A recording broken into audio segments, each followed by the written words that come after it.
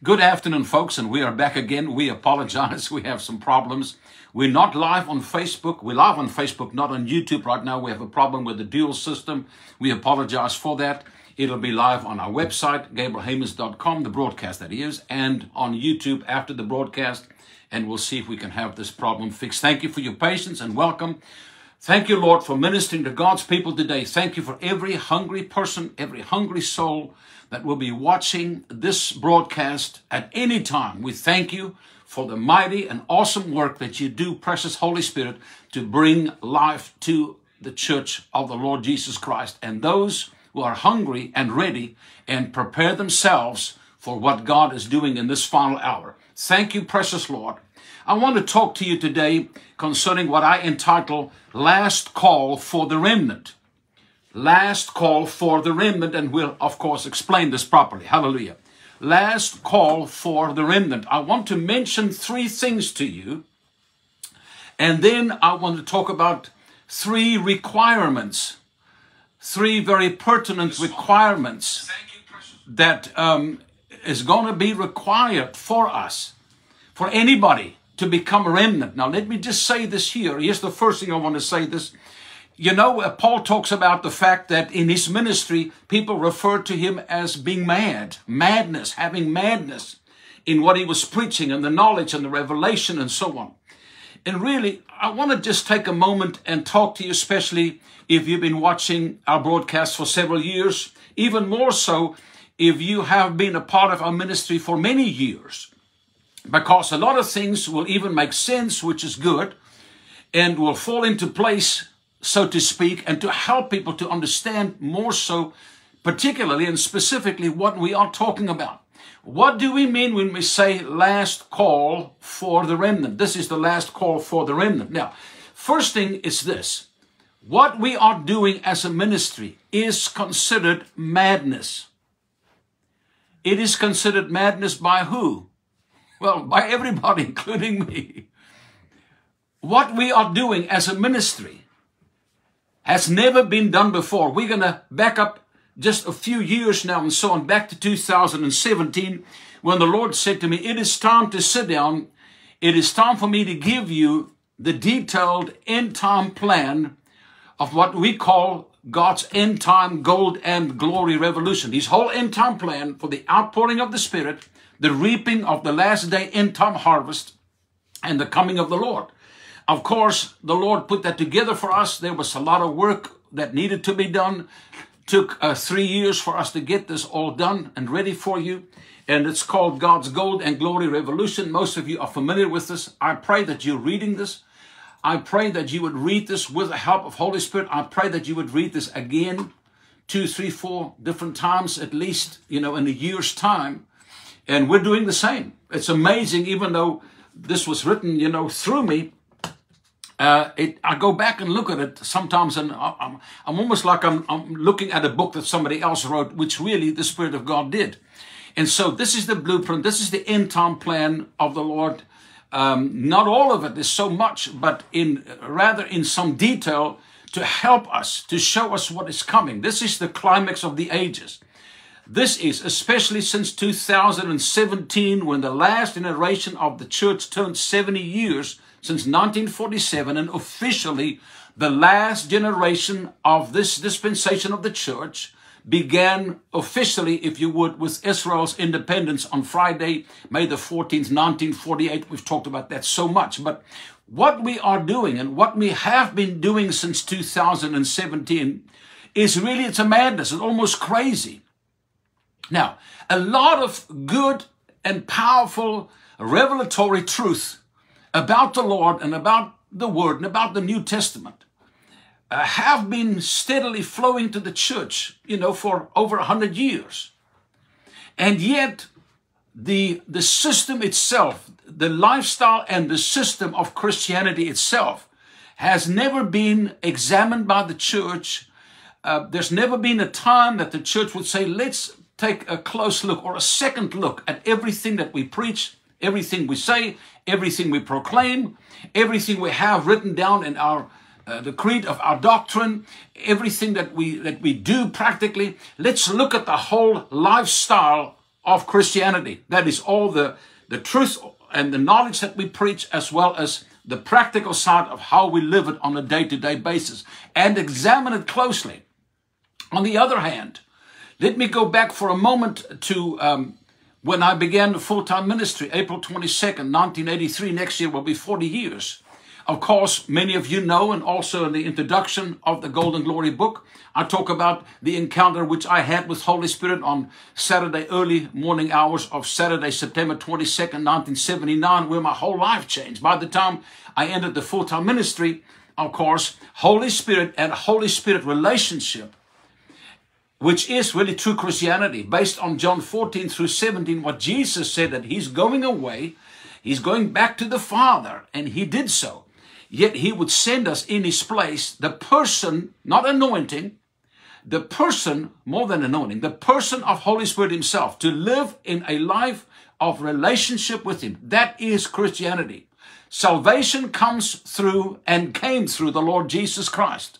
The Christian life comes through the person of Holy Spirit. That's what Jesus was saying. And so I began to preach what I called Holy Spirit Christianity versus what the church was practicing at large, which I refer to as religious Christianity. Now, this I did, and, this I preached from the beginning of my, my full-time ministry. And throughout all these years, I have tried my best to say to people, especially during the revival years in the 90s, People were more open to God. Holy Spirit was being poured out everywhere. And I would say, and, and as I said many times before in the morning services, I would teach on what we now call true Christianity. I called it Holy Spirit Christianity versus religious or church Christianity. And would show people how that there has to come after salvation, even after the baptism of the Spirit. Then there has to come a time of a personal embracing of Holy Spirit, which will lead to an encounter with Him. And from that point on, once you have had an encounter with the Spirit of God, we can talk about that some more today, then you will begin to live Christianity out of the source of His life and His person. You see, we think that we're supposed to live Christianity out of the Word. But you live Christianity out of Holy Spirit, who then takes you to the Word and then teaches you the revelation of the Word. We've always had it wrong. So for many years, I preached Holy Spirit Christianity. During the revival days, a lot of people became interested because their lives were changed by the outpouring. There were signs and wonders and miracles taking place and people's lives were changed. And I would teach them and say, this is because God is pouring out Holy Spirit in anointing and power and in rain and so on, and refreshing and joy and laughter and so on. But He is the person, the third person of God. And then at that time, as I said, people became interested in Him as a person to some degree. Some people never did. And began to follow the teachings that I was giving concerning how to discover Him and how to develop a personal relationship with Him which is real, what real Christianity or true Christianity is. So, in a sense, when we talk about true Christianity, we've changed the terminology here because something happened after 2017 slowly and then eventually after 2020. Initially, from, from my encounter with Holy Spirit, I received at that time revelation of who he is as a person by meeting him and how to present him to the church as an alternative form of Christianity, which is really the true form of Christianity, living and fellowshipping with, with Him on a daily basis, called it Holy Spirit Christianity. But then the part that we were lacking until after 2020, when the Lord began to open our eyes, was on the other side. You see, we, re- we received more revelation from 2017 onwards about everything about the Lord, including Holy Spirit. However, the part we were lacking was on the other side, the exposure of and exposing of who is behind the system. How does, what is religious Christianity really? And then we found out from the Lord that it was the Antichrist spirit. And then uh, the Lord said to me, I want you to go, go back in history and look at that time in the in the history of the church because we were looking in First John chapter 1 and then chapter 2 verse 18 and verses 22 and and uh, chapter 4, verse 3, and then Second John 1 7. There are four times that John says, Be careful, this Antichrist spirit is on his way to you. He's coming to the church. And that, that woke me up. And I began to say to the Lord, All right, if he was on his way to the church at that time, then I need to look into this closer. And so went back to history and look at what happened then according to history. And then you see that um, that as you look back into this, uh, clearly how that this spirit came and attacked the church with deception. The war of deception. The war of deception takes place without anybody knowing it. Because it's deception. Nobody saw it. Nobody recognized it. This spirit just presented himself to the church as the true Jesus. And of course, as we've said many times, the church, even from the beginning, refused to accept the fact that Jesus did not lie as is preached all the way throughout, or, or, or suggested or insinuated throughout the whole Christian world. The whole Christian church world embraces Jesus as if he's on the earth, suggesting that he was lying. You see, we, we, we never, in the church, we always preach one thing and then never draw the line all the way through to see the full truth, except of, except of half a truth. If Jesus is on the earth today, if Jesus is in your heart, if Jesus is everywhere in the church, like the Christian community of the world tells you, then that would make Jesus a liar because he said clearly, I will return to the Father. He ascended from the Mount of Olives. 40 days after his resurrection. It was Thursday, May the 22nd of the year uh, 32. He ascended from the Mount of Olives. That is truth. That is biblical, historical truth. He sat down at the right hand of the Father, and 22 verses in the New Testament confirm to us that he did sit down at the right hand of the Father. He has been sitting there ever since he returned. So if you preach the uh, what we call antichrist Christianity. That Jesus is on the earth. You're calling Jesus a liar. Now, many of you know about this, these books, True Christianity. I think for any Christian who says, where have we gone wrong? What is the root of the problem? Where did everything fall apart? How can I quickly find knowledge and truth and revelation to get me out of deception, to show me the deception, get me out of the deception, get me over into truth, and turn my whole life around, it would be this book, True Christianity. And I tell you what, it's so amazing. People always say, you know, why do you sell things? And the Lord said to me, do not give these books away. Sell them. People need to appreciate and use them. I mean, for the price of what? Even a large or medium sized pizza, you can have this. And you can read this and it will change. I promise you, if you, before you read it, say, Holy Spirit, please talk to me, Lord. It will absolutely, he will open your eyes. It will change your life, turn your life around. Even if that's the only one of these books that you get. By the way, we have on YouTube and my tube and everybody's tube, we have over, by now we must have over 700 videos since 2012.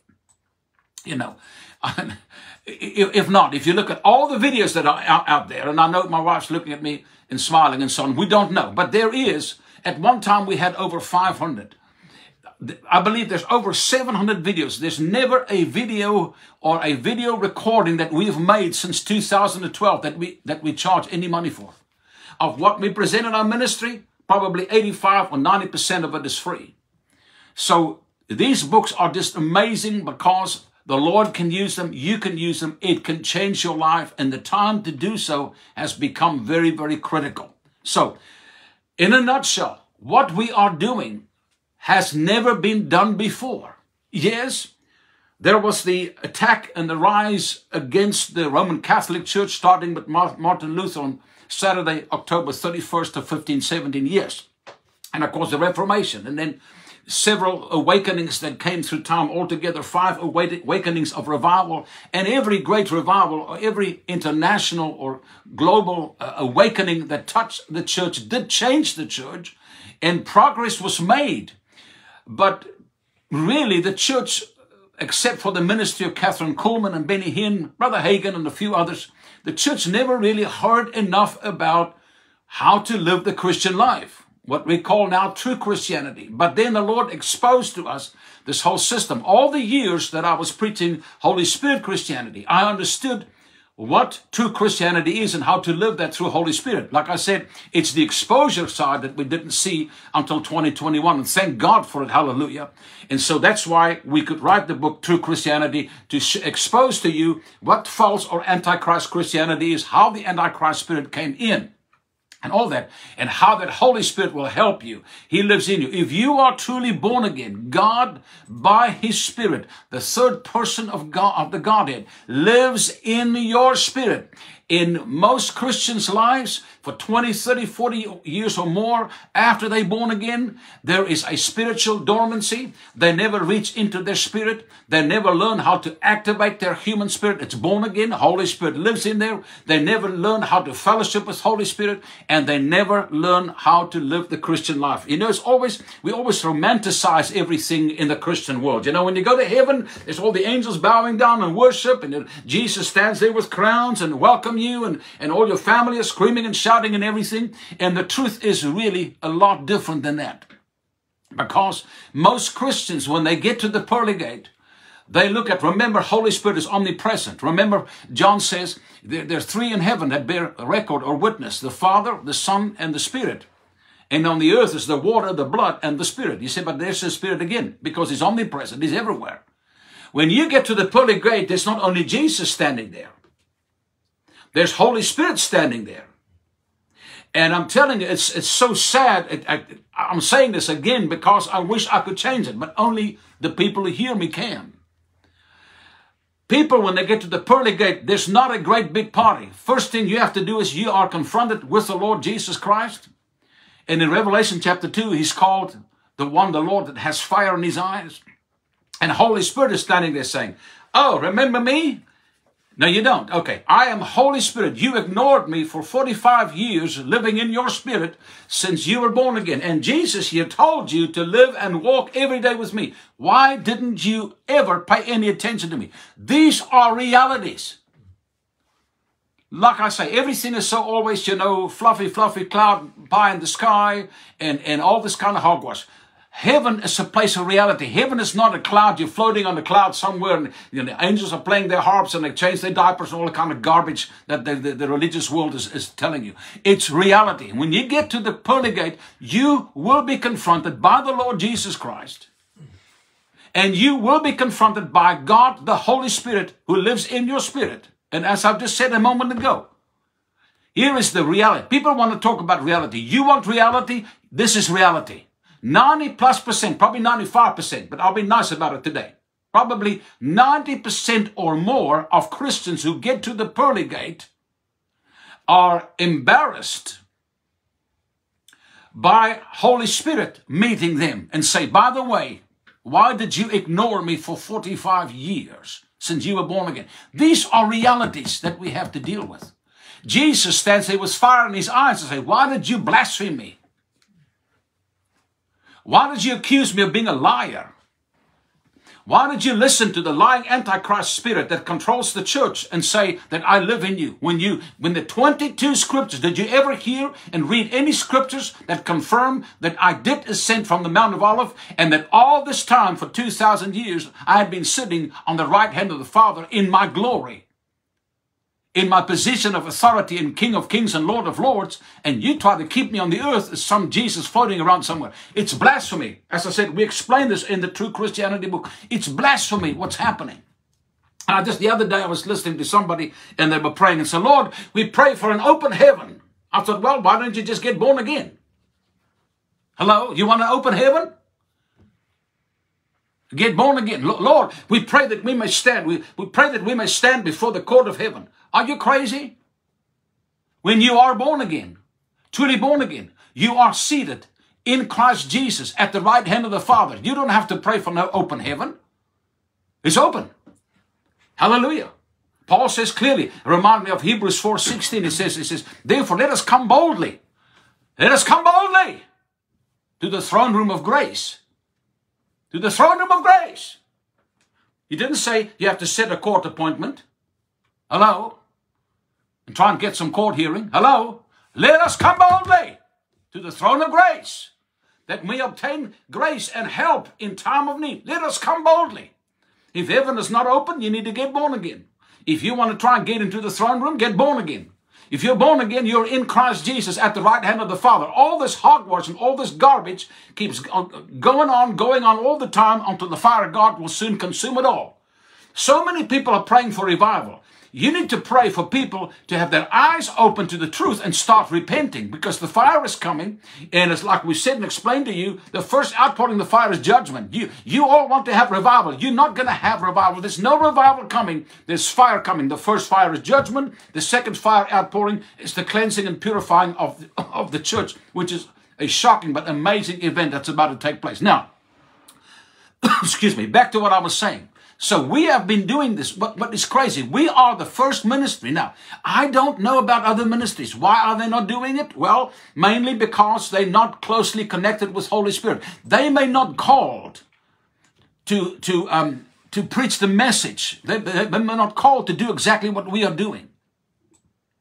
But if a minister is truly connected with the Spirit of God and walking with Him, they will hear and would have, especially since 2017, would have heard Holy Spirit say, folks, this is 70 years. We're in the final stretch of 10 years.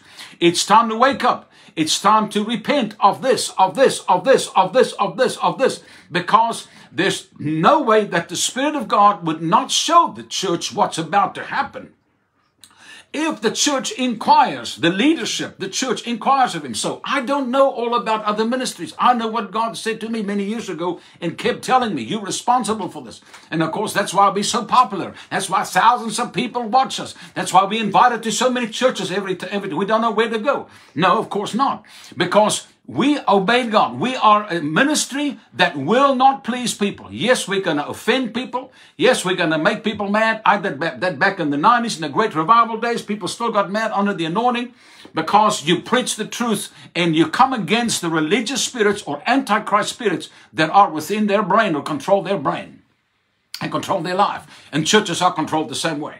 So in a sense, for those of you who have been with this ministry many years, and for those of you who have even walked with us since 2017 or 20 or so, you know and understand what we're doing.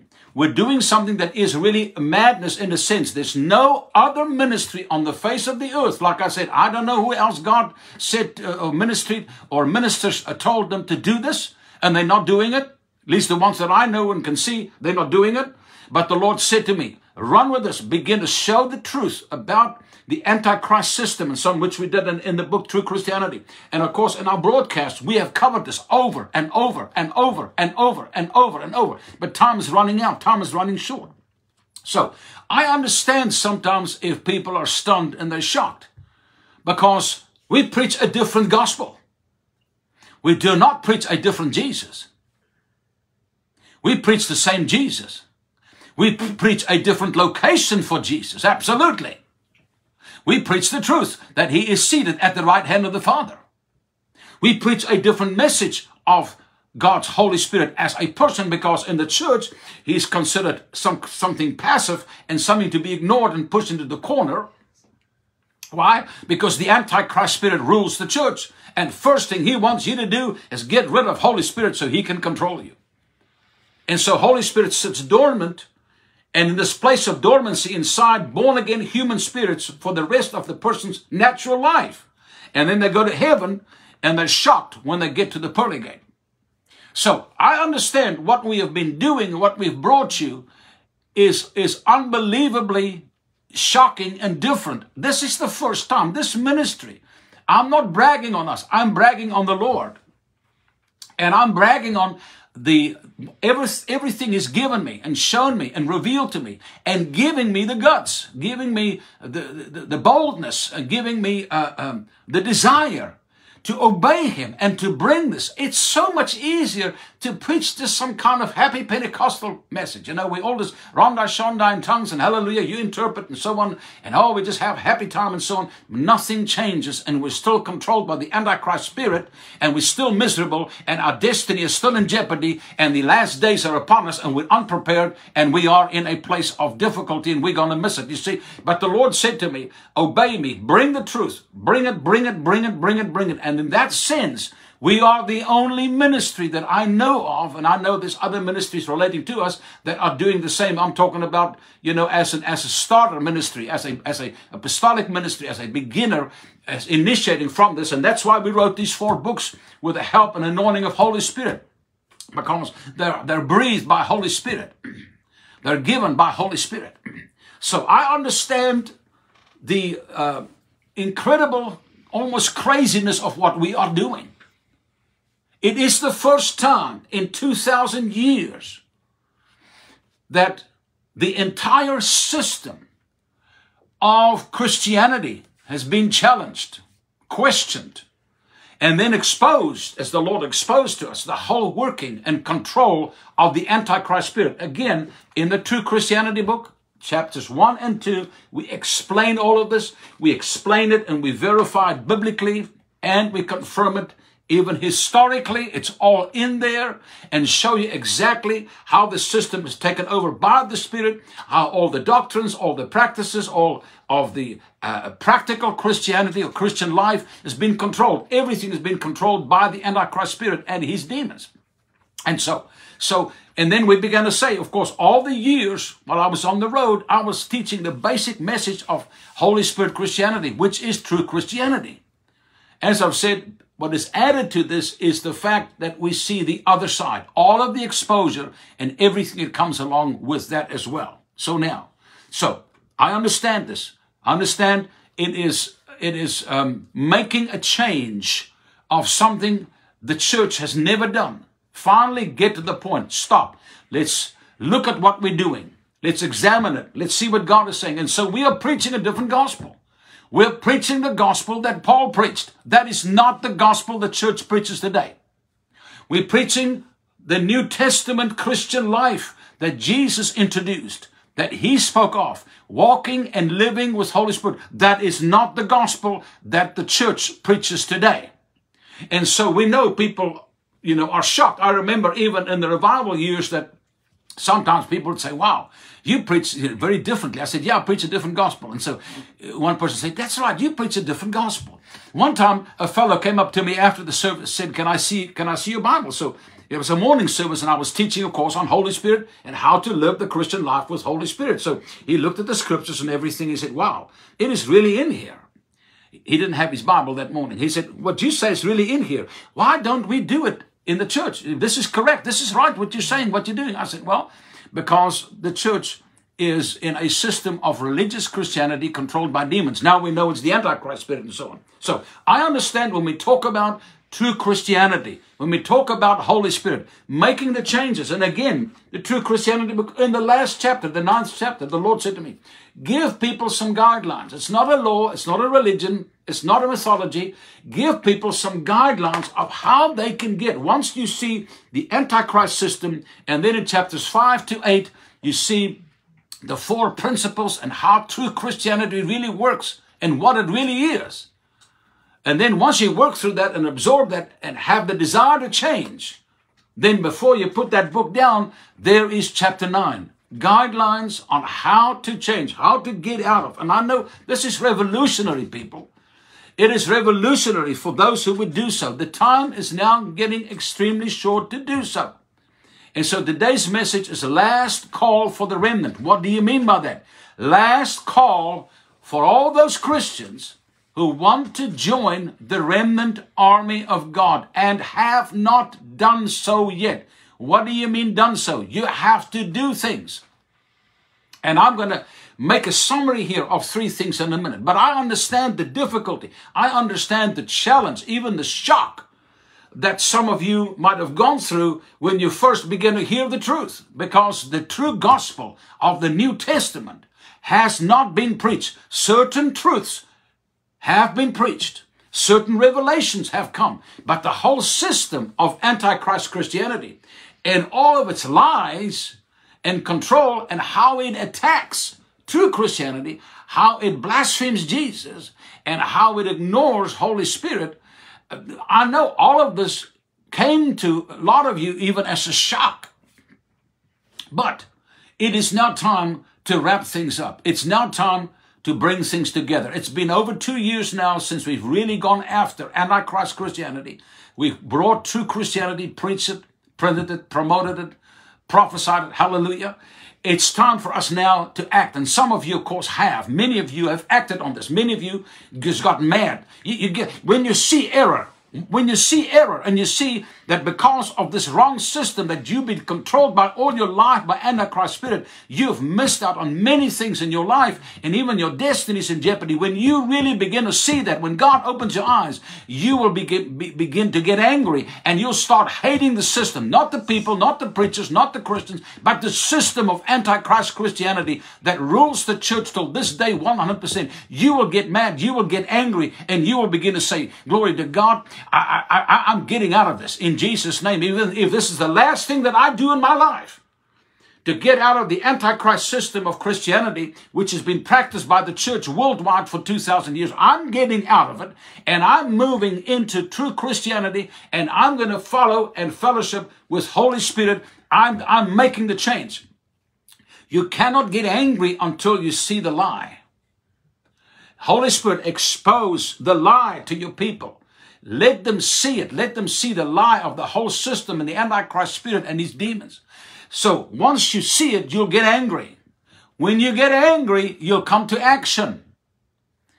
It's amazing. We don't change. We don't shake off bad things. We don't get rid of bad things until we get angry. When you get angry and say, Dear God, I am done. I'm done with the Antichrist demon uh, impersonating Jesus posing as Jesus, controlling me all these years, and they telling me Jesus is in the church every Sunday, and he's in my heart. Here he is. We welcome him in the service. Bull trash. He's at the right hand of the Father. I'm done with all of this garbage and being under the control of the Antichrist spirit. Think about this. For 2,000, almost 2,000 years, since AD, the year 90, since the year 90, the church has been under the control of the Antichrist spirit. Is this shocking? Is this shocking? So I understand what we do is, is totally revolutionary, but it's time to really get a hold of it. I know many of you have, many of you have changed. You have become true remnant. But today, I want to suggest you in a moment uh, three, among other things, but three very, very vitally important things that you have to act on to join the remnant. Now, many have been listening and hearing, and some have been reading the books. It is time to act if you have not done so. Time is running out. The Lord said to me, I want you to go on the air and say to Christians, listen, there's still time to come in. Now, many of you have walked with us over the last two years. You've gone through a lot of revelation and truth and a lot of training. You've received a lot of truth ever since we published God's Gold and Glory Revolution on Friday, May 22nd, 2020. The Lord has been teaching and preaching and we've been preaching and brought revelation and truth and life it's, it's this amazing. We start out here, next thing, two hours are gone on a broadcast because there's so much, but in 2,000 years, very little truth has come forth, especially about the Christian lifestyle and what we believe, there is so much to cover. And we have experienced, and you along with us, many of you have experienced, we start one thing and the Lord move us into the next thing, and then the next thing, and the next thing, and time is getting shorter. Over the last two years, it's been such a compact, condensed I mean, almost jammed together a, a, a, training manual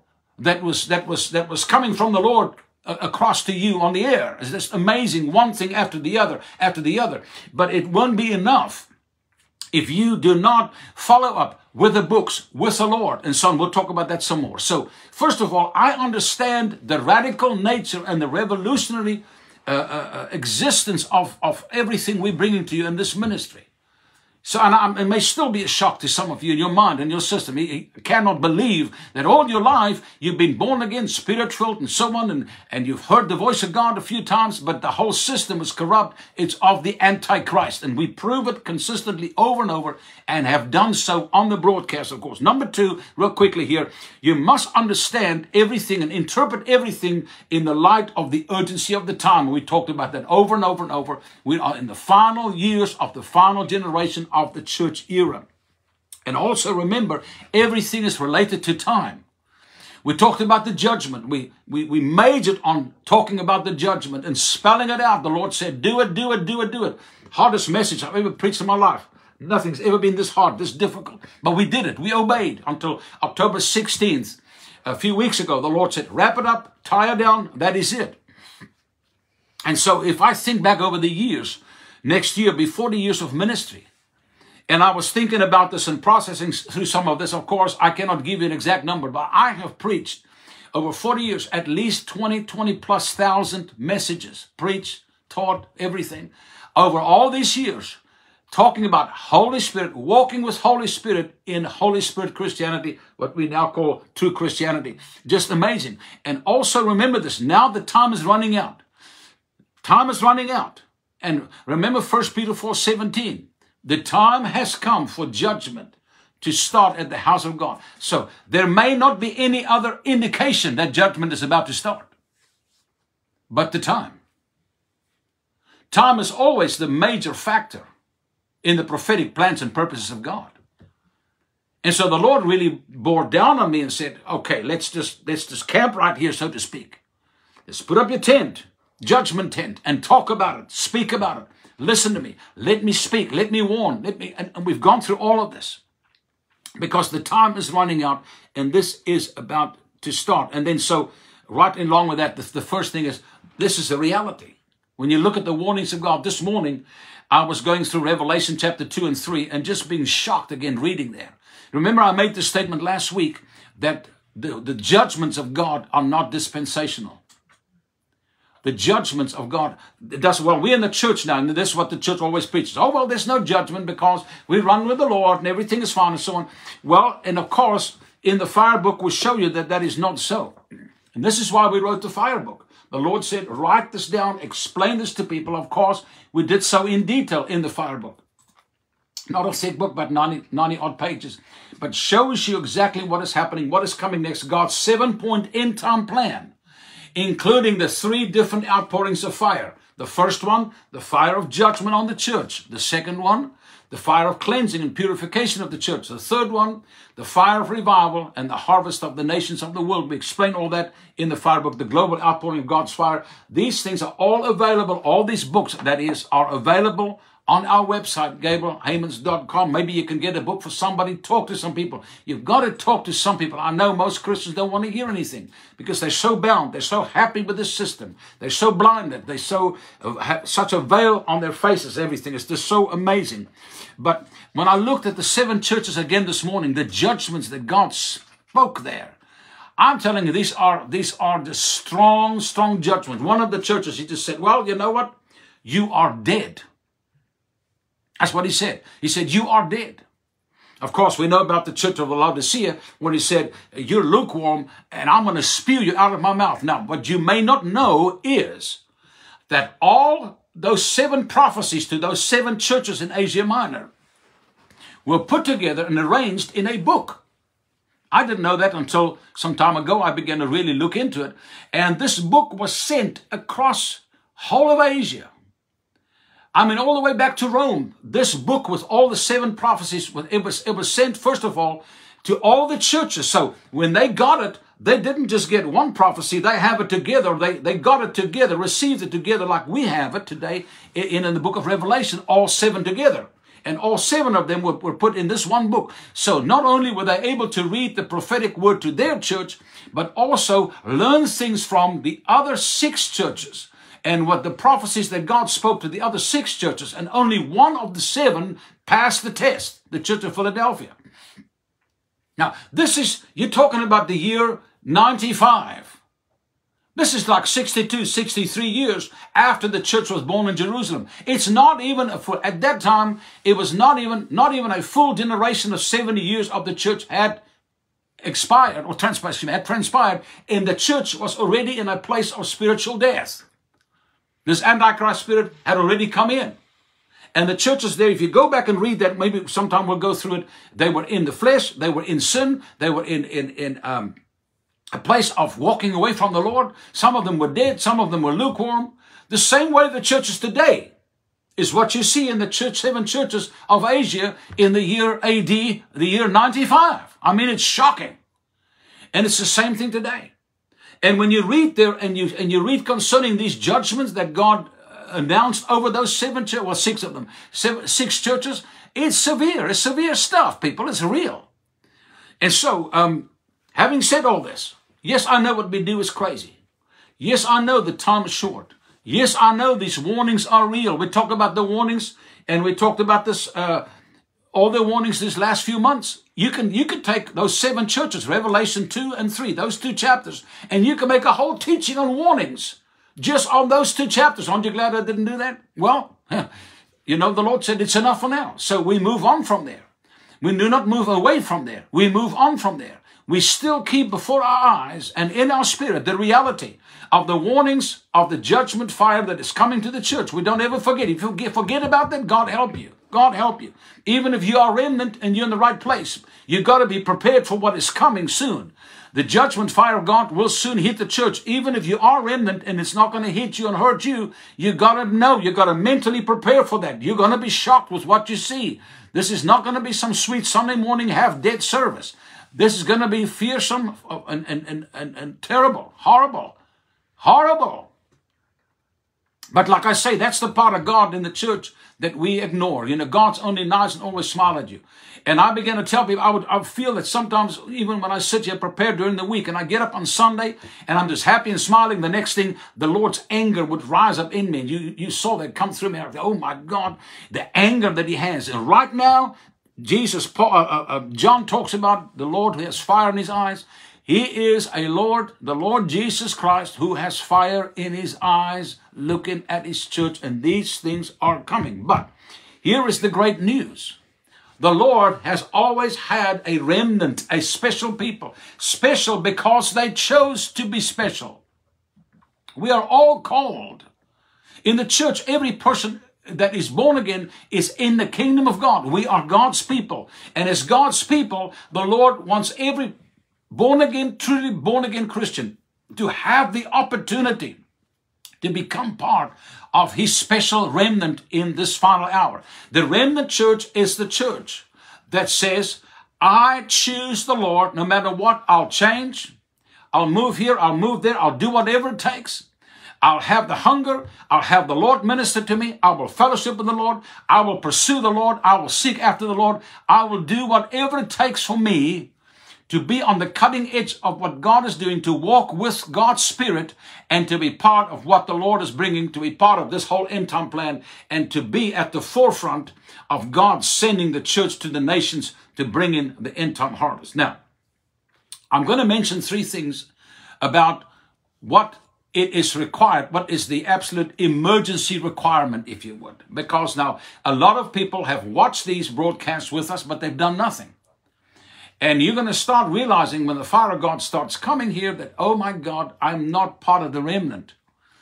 This is really last call. We don't know that we will talk about this again. But the Lord said to me, there is a shortcut to become remnant at this time because we run out of time. And so many of you and many people can still become remnant they may not have received all the teaching. They may not have the training. They may not be prepared and raised up in their spirit and, and matured in their spirit and be ready to run when the fire God, when the fire revival hits. But you can still get in the door. This is like getting in the door type message today. This is like last call, last minute. You know, you're like, you, you're in the water and you're, you're sinking. And the boat is the boat of the remnant, of the remnant. And you can get on the boat. You can get in. You can stay in the sea. Remember prophetically, the sea is the masses of the people. You can remain in the sea, struggling to keep your head above water, the sea of the church. You can remain in the sea of the church, the born again church, struggling, half dead, miserable, uh, living in Antichrist Christianity, or you can grab the rope. We're throwing you a rope today. This is a rope to say, listen, it's last minute. We know the fire of God is on its way in. But if you have not acted on all that we've preached about the remnant, about true Christianity, about Holy Spirit, about leaving the old system, about coming over into true Christianity, about beginning to fellowship with Holy Spirit, about following the Lord, spending time with Him, if you have not acted on this even for the last two years or so that we have spent so much time in raising up the remnant as the Lord had told us to do, if you had not acted on this, it is time to act now. This is last call.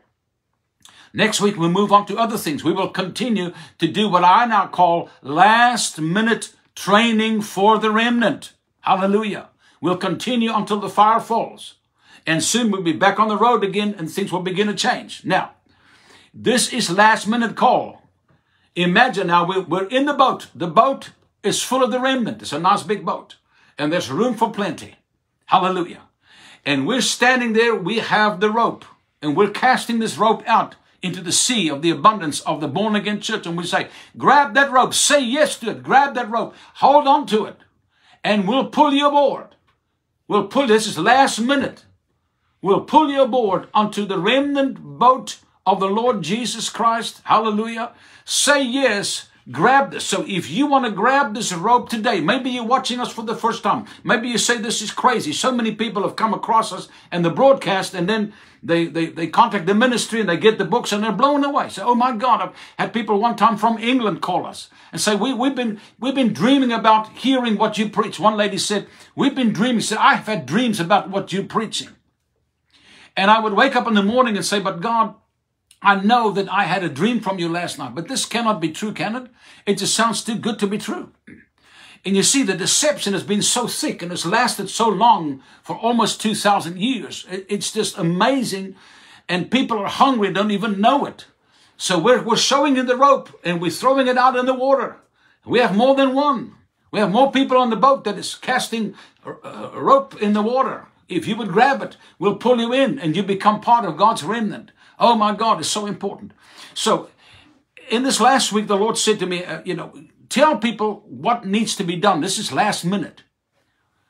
As I've just said a moment ago, it's not going to be possible to bring you through all the teaching that we've, that we've done the last two years that some of you people have walked through and have changed from anti-Christ Christianity to true Christianity and to Holy Spirit. But we can get you on board. Hallelujah. We get you out of the water, out of the sea of the masses of the born again, deceived church into the church of enlightenment. Hallelujah. And those who say, yes, I don't care what I have to do, what, whatever has to change. I want to be and I will be part of God's remnant army that'll take over the world in these last days. Hallelujah. And so, three things. You know, I, I had a list of about 10 things. The Lord said to me, no, we got to narrow this down. Just show them, just give them the emergency kit, so to speak. You get on board and you do this real quickly. So, you know, we'll pull you on board. Hallelujah. And so, three things that the Lord uh, concluded with me this week that are so important, and I'm going to mention them briefly. I'm not going to make a long teaching of it, but this is what is required. It's time for action for those who have heard all the teachings of how to become or what the remnant army is, what the end time revival or revolution is about, what is about to take place, what is it to mean, what does it mean to change from antichrist Christianity to true Christianity and Holy Spirit, all those things. There are three things. Number one, number one, we need, everyone needs, and everyone especially who's not made the choice to join the remnant army of the Lord of the last day church. You need from the Lord an hunger of urgency.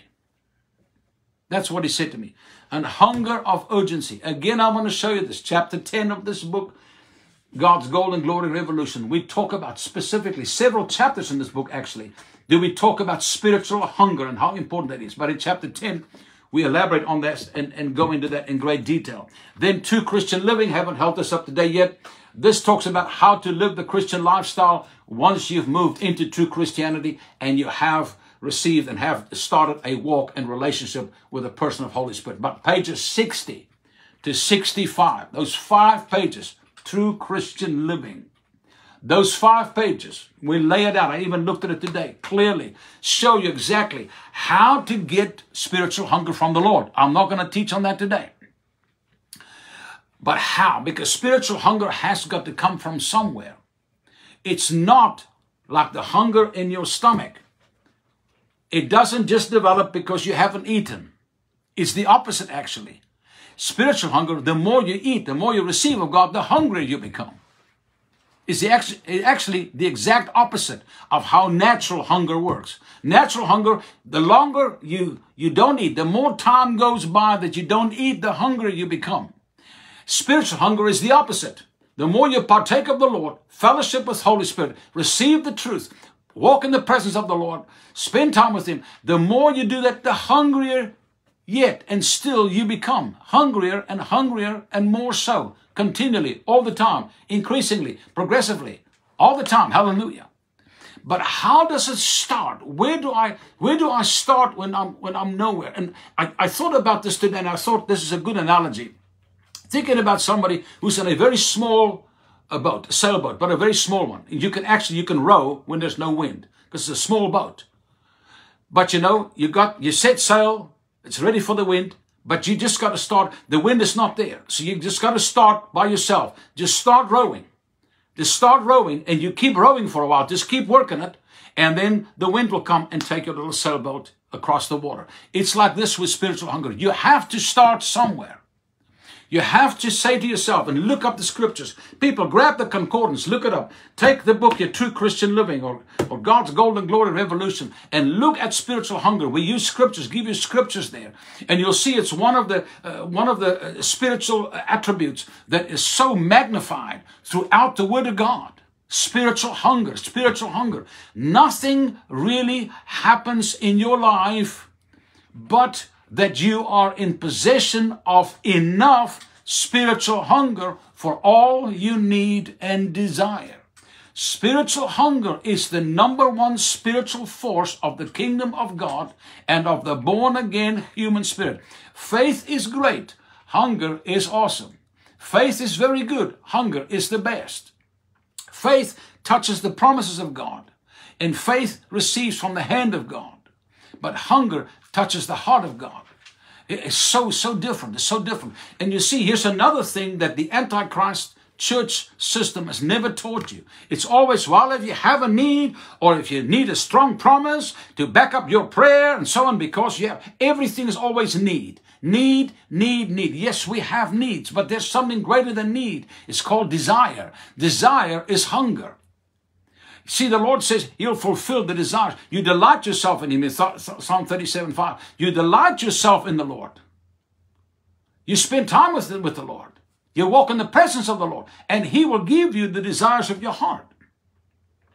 I've preached this for years. I've seen it in the Word. I've seen it in my life.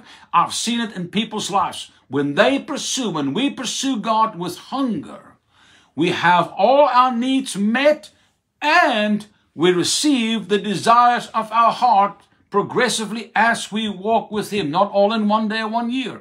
But it comes to pass, He will give you the desires of your heart when you walk with Him through hunger and thirst.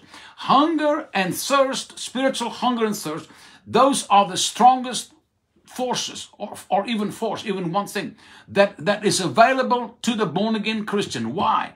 Because it is the essence of, of, of, of what we made of, what we made of. It is the number one reason why God created you, that you would desire Him. And Christians desire everything you can think of, but God personally. They desire the things of the world. They desire wealth. They desire fame. They desire power. They desire control. They desire this ministry. They desire that ministry. They desire this job or whatever. And they desire um, uh, the blessings of God and the covenant promises and blessing of God, but they don't desire God Himself. That's why the church has never focused on Holy Spirit because there's never been desire for the Lord Himself. That comes out of hunger. You will recall, some of you, how much we preach, not just myself, but all the people running with the Joy Revival in the 90s and early 2000s, how much we preach and, and, and majored on the essence of, the importance of spiritual hunger, spiritual thirst. because it is the number one thing that releases the hand of God to you. And what you should do is take those portions in those books, work through them, take those scriptures about spiritual hunger, work through them and say, Lord, make this a reality to me in my spirit. Make this a reality to me in my mind. Let me see how important it is. How important it is that I desire you, that I hunger for you, not for a word, not for a scripture, not for a song, not for a sermon, not for a teaching. That I hunger for you, you, Y O U, you. And there's only one person of God is on the earth, and that is Holy Spirit who lives in you. But when you ask for hunger, and I explain it here in the in True Christian Living as well, when you ask for hunger, there's so much that's involved here. Ask Him for hunger for your spirit, and ask Him for hunger for your soul, your, your natural man, the soul man. Hunger for Him in your soul, and hunger for Him in your body, the touch, the anointing, the presence of God in your body. Ask Him, and I explained it there, to impart hunger to you in every part of you, your spirit, man, your soul, and your body. And this is like people, once you start, once you realize how important it is to do it, you're going to start rowing. You're going to start rowing without any wind yet, but you're going to start rowing your sailboat and you're going to start rowing and rowing. What, what, what does that mean? You're going to start saying, Lord, I'm asking you for hunger. I'm asking you for the thirst. Even in the book, The Gold and Glory, chapter 10, we deal with that in, in great detail. Lord, Lord, in Jesus' name, I thank you. Spend the time with him.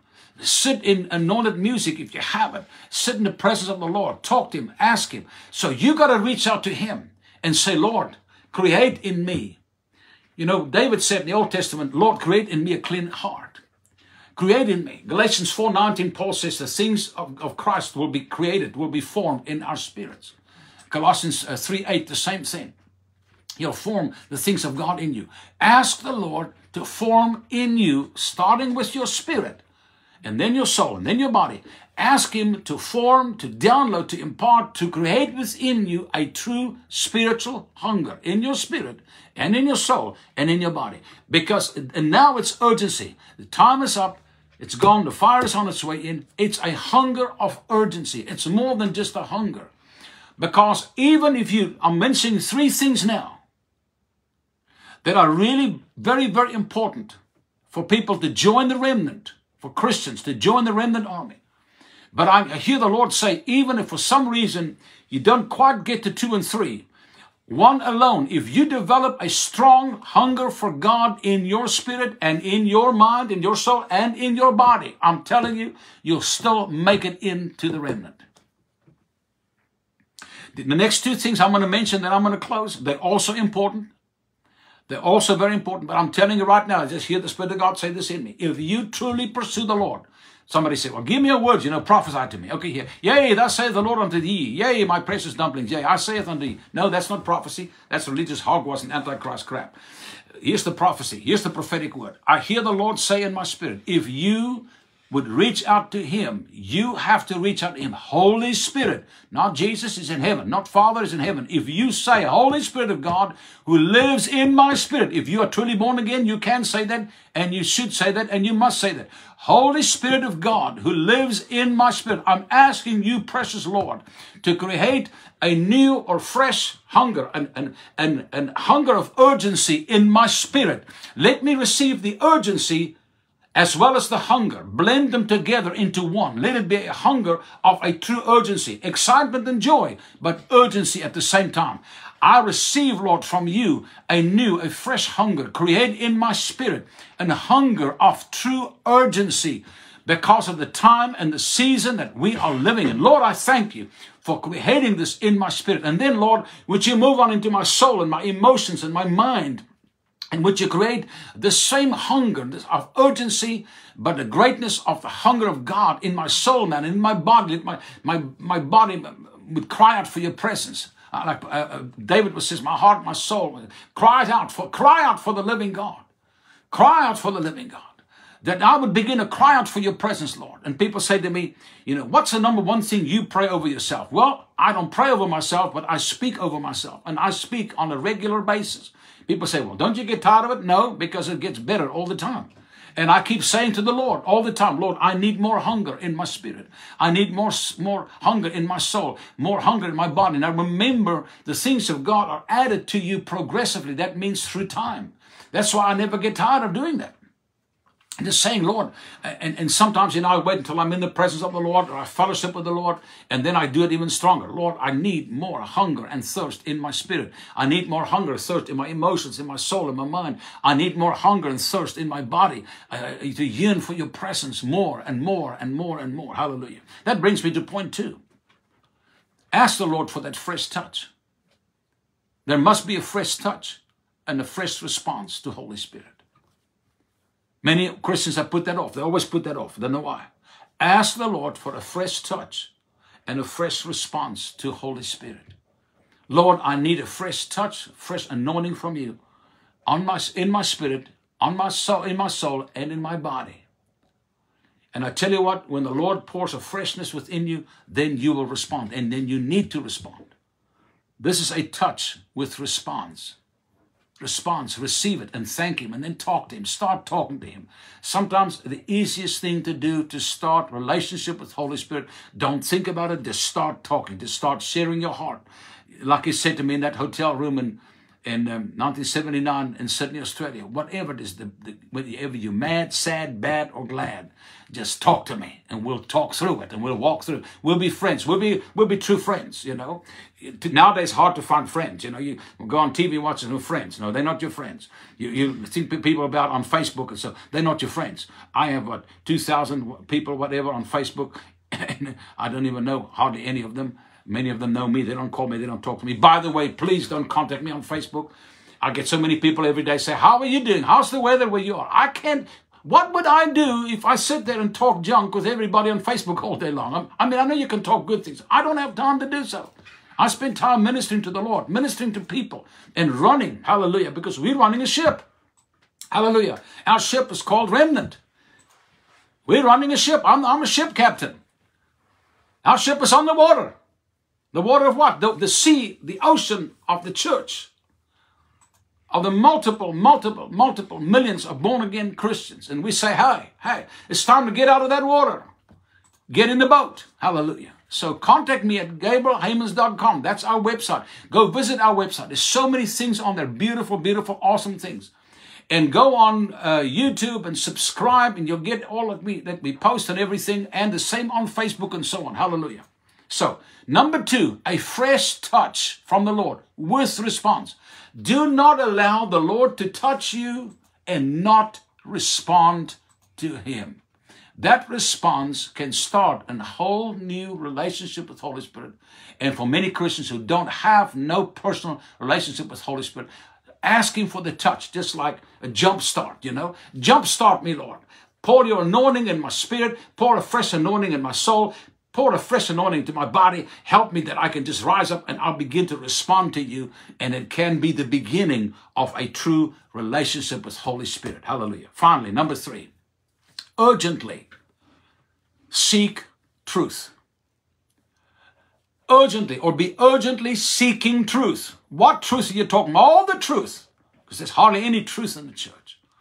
How do you seek truth? You seek, number one, from Holy Spirit and number two, you go out there and seek. Open your Bible, open these books, begin to read and say, Holy Spirit, I thank you that even as I inquire, as I look, even with my mind, as I look and read through this, that you will help me. Ask Him directly and then go. Don't go and read some books that talk about junk and things that can't help you. These books will help you. The truth is in them. The truth is in the New Testament. Hallelujah. It's so, so important. I want to read you just a portion of scripture about hunger. And then I'm going to close. Hallelujah. You know, we say, we say, what is at stake here? I'm going to talk about that next week. What is in, what is in store for the remnant in these last days? This morning I was looking at it. It's so awesome. I just sat there. I said, oh my God, my God. I know it, but just to see it again is so amazing, so awesome. Thank you, Lord. Where he says in the book of Revelation there to one of the churches, I forgot now which one it was. He said, if you do this, if you do that, I will give you power over the nations. I will give you power over the nations. What is he talking about? I'm going to mention this and come back to this next week and talk about this some more next week in detail. we are about to rise in the power and the glory of the Lord and his fire. And we have a short period of time, seven years or less. We don't even know how God's going to do this because we're already into the final seven years. But we're bringing billions of people into the kingdom of God as the Spirit of God is poured out, the fire of God is poured out on every human being on earth. This is the last day end time harvest. We talked about that a lot. The Lord will give us power over the nations. The remnant is that part of God's end time army. The remnant is the first part of God's end time army. The remnant is the part of the church that will pass through the fire of judgment and not be burned.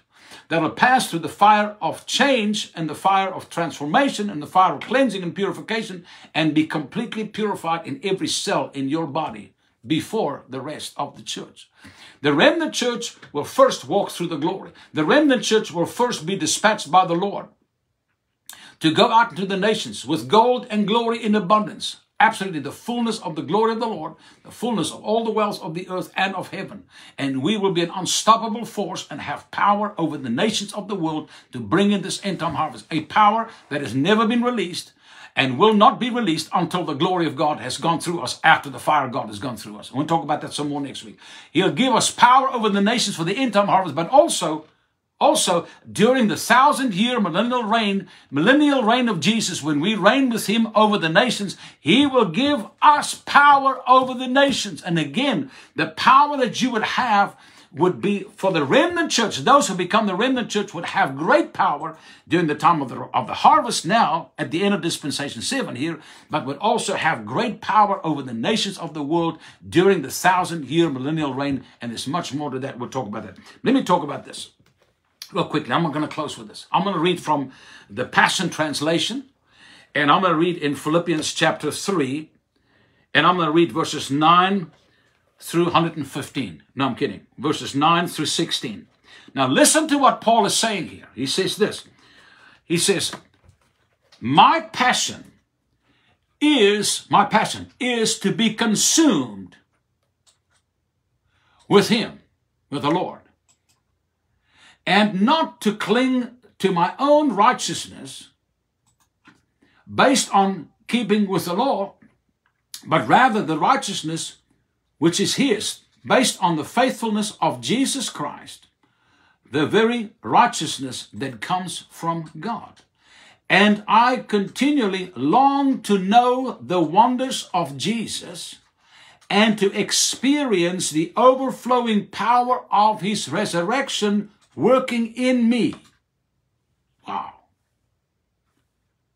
Is the resurrection power of God working in us? Is it working in you? Paul says, it is working in me. I want to continue to experience it more and have the power of the resurrection of Christ working in me. Of course, by Holy Spirit. Now, I will be one with him in his sufferings and become like him in his death. Only then will I be able to experience complete oneness with him. That's in spirit, because in person he's at the right hand of the Father. Hello? But you are seated with him. He's talking about spiritual things here. Oneness with him in his resurrection from the realm of the death. I admit that I haven't yet acquired the absolute fullness that I'm pursuing. But I run with passion there's that word again. What is passion? It is hunger and thirst and desire and yearning for God.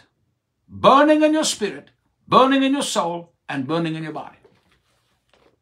This is what makes the difference. This is really what makes the difference between the remnant church and the rest of the church. And like the Lord just said here, as I, be, as I began with, all these three points, these three points that I mentioned to you are very important for you to become remnant if for some reason or another you don't get to two and three, if you really develop a strong and very passionate hunger for God, you'll get in. I admit that I haven't yet acquired the absolute fullness that I'm pursuing, but I run with passion into His abundance so that I may reach the purpose God, there's destiny. That I may reach the purpose. What is our purpose? The destiny of these last days. That I may reach the purpose for which Christ Jesus had uh, laid hold of for me. I just love it. Hallelujah. To make me his own. Hallelujah. I don't depend on my own strength to accomplish this. No. However, I do have one compelling focus. I forget all that is in the past. And as I fasten my heart to the future, instead, I fasten, I, I tie my heart to the future. Here's the future. It's around the corner. It's the end time gold and glory revolution. I fasten my heart. This is my purpose. Our purpose now. Paul talks about in his purpose, he says that I may attain, that I may reach. Really, what it says in the Greek, that I may uh, attain to the resurrection. What it really means is that I may reach the end of the road. It's like a journey. That I may attain, that I may arrive. Actually, the Greek word is that I may arrive at the resurrection of the dead in Christ. Well, that's awesome. Hallelujah. Don't you love it? That I may arrive Hallelujah. At the resurrection. He knew by this time that he's going to go home. And he was looking towards running with the Lord as hard and fast as he could because he wanted to make sure, hallelujah, that he will arrive at the resurrection of the dead. When Jesus comes back down from heaven, he'll come back and get a new body. Hallelujah. I forget all of the past as I fasten my heart to the future instead. I run straight. I run straight for the divine invitation of reaching the heavenly goal and gaining the victory prize. I don't want to just get to heaven and eternity. I want to gain the victory prize. I don't want to just get a good price, you know, coming somewhere 10, 15, 20, 50, hundreds down. I want to get the victory prize. What is going to make the difference between going to heaven and receiving the victory prize? Passion, hunger, thirst, desire, yearning, cry of God in your heart, hallelujah, hungry for God. That's the difference. That's always the difference. That will always be the difference until we get to eternity. So I let all who are fully mature have the same. Let all of you who have this, that are fully mature, have the same passion. Have the same passion. Have the same passion. Let all of you have the same passion. Let all of you are fully mature. We don't, sorry, Paul, we never followed your teaching, so the church is not fully mature. We're on our way there. Hallelujah. The remnant is uh, at least. Have the same passion. And if anyone is not yet gripped, gripped, gripped by these desires, God will reveal it to them and let us all advance together to reach the victory prize following, following one path with one passion. There it is again. Glory to God. Oh my hallelujah. That's people that has always made the difference Always throughout the ages, 6,000 years of man being on the earth, the difference has always been fire, passion, hunger, thirst, desire, yearning, the cry of God in your spirit. And it can be in your soul, can be in your body, but you have to have it. Hallelujah. You have to have it. It's always been about appetite. Staying alive in the earth and be healthy and continue to live it depends on appetite. You got to eat enough. You got to sleep well. You got to do this. You got to. It's always about appetite. It comes from the spirit world where everything is about appetite. Blessed are they who hunger and thirst after righteousness, after the Lord, after His presence. I mean, I might come back and just read this again next week. It is awesome, isn't it? I love the Passion Translation here. They really have all the passion in there too. Paul says, I have this desire. He said, I want to arrive at the full resurrection of the dead. I'm on my journey there while I'm on this earth now. Here in these, those were the last days of Paul on the earth. He said, I'm, I'm running all the way now. I'm forgetting everything that's behind me, putting all the stuff behind me, everything behind me, behind me, and lay it down, leave it there. I'm running uh, uh, down the road. I'm going forward. I'm moving on. I'm pressing towards the prize of the high calling in Christ Jesus. The victory crown, he calls it here. And, and the way I'm going to get there is with working with and running with and, and working with my passion. That's how I'm going to get there. That's what's going to make the difference. Always make the difference. That is what will make the difference between who will, in this final hour, answer the last call for the remnant. Soon the fire is here. The time is over. But there's still opportunity. There's still opportunity at this time. Doesn't matter how few people, few people hear me, how few people will act on this. I've got to always preach and say by the Spirit of God what Holy Spirit tells me to preach and say, and I always will. Hallelujah. No matter who likes it or not, who listens to, who acts on or not, doesn't matter. If it's one person, hallelujah. Glory to God. If it's two, if it's ten, hallelujah. But eventually, there will be an army of the Lord will be raised up and it'll go through this country and reap the harvest, almost like plundering a field. Hallelujah. We see that in Joel chapter 2. The army of the Lord will come forth in these last days. And it will start with the remnant. It'll begin with the remnant. The remnant of the hungry that say, I will change. I will hate everything that's not of God. I hate all of the, the doctrines, all of the religious stuff, even the traditions. Let me tell you this. When you get to the place where you begin to hate the traditions of the church, you have been touched by God. You got a hunger. You have changed. Something has happened in you because everybody in the church, they worship all of their traditions and all of their traditional stuff because we grew up with it from the time we were young, one year old and two years old. We have all these traditions and this is what we do and this is how we celebrate all the Christian stuff and all of it is pagan and ungodly and it was sold to us by the devil and we love it because the family is there and everybody's there and we do all the stuff together. But it is of the devil. It is of the Antichrist system we need to have our eyes open to it because we talk about it, all of it in here. But the moment you say, I hate everything that is not Holy Spirit and New Testament, and have not been paid for by the Lord Jesus Christ and has not been brought into the church by God's Spirit. I hate it, I hate it, I hate it. The moment you get there, you have developed some hunger. You have developed some hunger. You have developed some spiritual hunger. When you get to the place where you say, I don't care what it takes, I will change, I will do whatever you tell me, Lord. Let Holy Spirit tell you. Many people call me and say, well, you know, so I leave my church. I'm not Holy Spirit. You need to ask Holy Spirit what to do, where to go, to go to church, not to go to church, whatever. That's between you and Holy Spirit. I'm not the Lord. I'm not the judge. I'm the, the vessel. I'm the minister. I'll bring you the truth that's going to bring you to ask very confronting questions of Holy Spirit that you have to, and even confront yourself in the mirror. But the time is short, and I'm going to go. Hallelujah. Are you blessed today? Yeah, this is our shock and awe broadcast. This shock and awe again today. The call is going out again. There's still time, little time. One more time, the Lord said to me. Next week, I'm going to talk about what is in store for the remnant. What are the rewards that we're going to get now in eternity is amazing. But the call is this Have you acted on, even those that have watched us all these months, have you acted on the truth? Have you made the choice? Have you sought the Lord and the hunger? Have you sought breakthrough with Holy Spirit? Have you changed from Antichrist Christianity to true Christianity? But these three things, a hunger of urgency, a fresh touch from the Lord, ask Him for it, spend time with Him, and He will come. At His own time, He'll come. And then walk with Holy Spirit. And number three, seek, urgently seek the truth. Ask Holy Spirit, grab the New Testament, grab the books, and say, Lord, Help me. Speak to me by your Spirit and speak to me through the Word of God and through these books. Seek the truth that you may walk in the freedom and the liberty of the truth. And thus, being the true remnant of the Lord, prepared for the soon outpouring of the fire and the raising up of God's end time army. Hallelujah. Thank you so much. Be part of our ministry. Please be part of the ministry. Pray for us. Support the ministry. Nobody's doing what we're doing. It is very, very important, very urgent what we're doing right now and will be until we come into the fullness of God's army and the outpouring of the Spirit and fire. Hallelujah. It's a very critical time still.